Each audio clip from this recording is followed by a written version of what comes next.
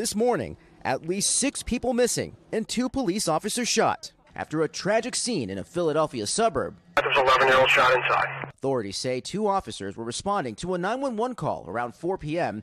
reporting an 11 year old girl was shot at this house. A gunman inside then opened fire on officers. Shots are coming from inside the house. Two officers shot. Shortly before, the house caught on fire, leaving at least six members of the family inside unaccounted for. And then all of a sudden, I heard six or seven gunshots. Cop caught down on the ground, I ran and took off. Two officers were struck and were dragged out of danger, sustaining non life threatening injuries. Second officer is out. Second officer is out. During the chaotic exchange of gunfire, a fire erupted inside the home. Officials say firefighters were unable to put out the blaze because of the active shooter situation. The, the police officers and the fire department who were out there, there were still shots coming out at the beginning of this uh, fire scene. Authorities say they are unable to identify the shooter or the missing residents, but say they include children. We are aware that there are at least six to eight people who are unaccounted for from that family.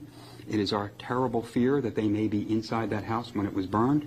We are hopeful that that is not true. Now, officials are expected to provide further updates this morning.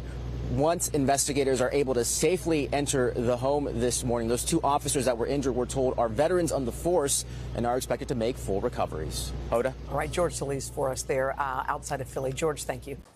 Hey, thanks for watching. Don't miss the Today Show every weekday at 11 a.m. Eastern, 8 Pacific on our streaming channel, Today All Day. To watch, head to today.com slash all day or click the link right here.